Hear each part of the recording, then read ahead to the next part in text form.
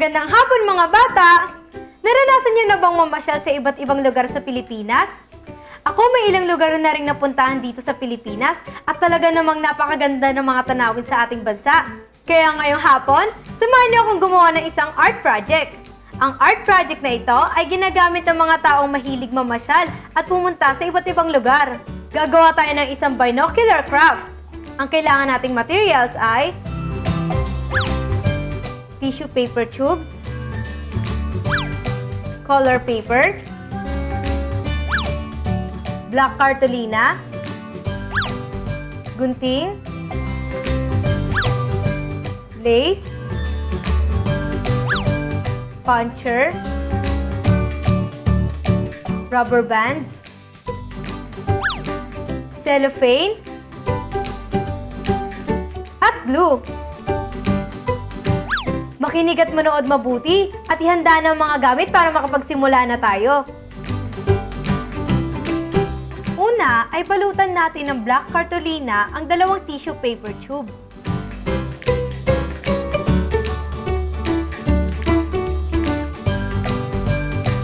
Sunod, gumupit tayo ng hugis bilog sa cellophane at gamit ang goma, ilagay natin ito sa kabilang dulo ng tubes.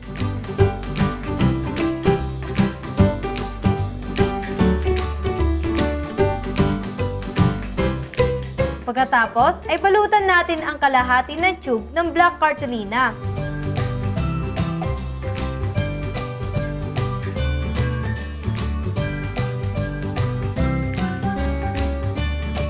Pagdikitin na natin ang dalawang tube. At pagkatapos, ay balutan naman natin ng color paper ang kalahati ng binocular.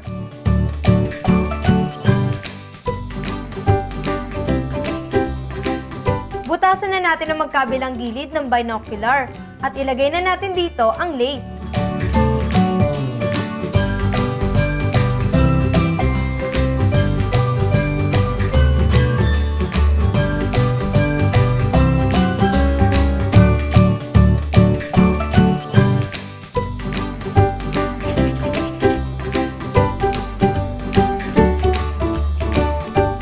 O, ayan, tapos na. Meron na tayong binocular craft.